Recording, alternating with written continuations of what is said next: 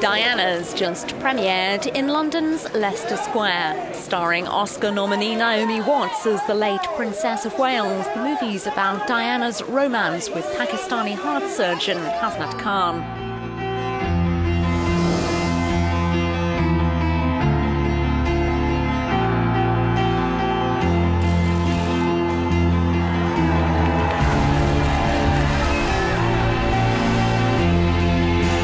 Naomi Watts explains how she portrayed such a famous woman.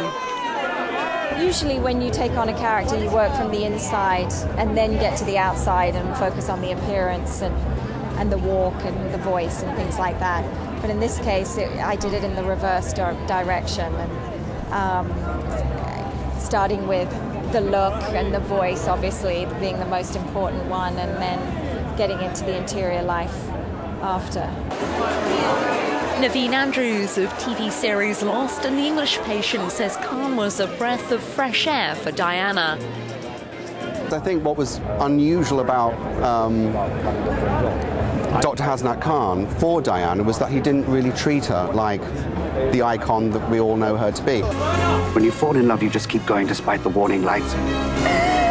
You keep telling me everything's going to be all right. It's not Directed right. by German filmmaker Oliver Hirschbiegel, who helmed the Hitler biopic Downfall, the film set during the last two years of Diana's life. The love stories don't come around often. It's, it seems like it's genre that's, that's not done anymore. But I'm absolutely certain that the, that the audience wants that. But let's see.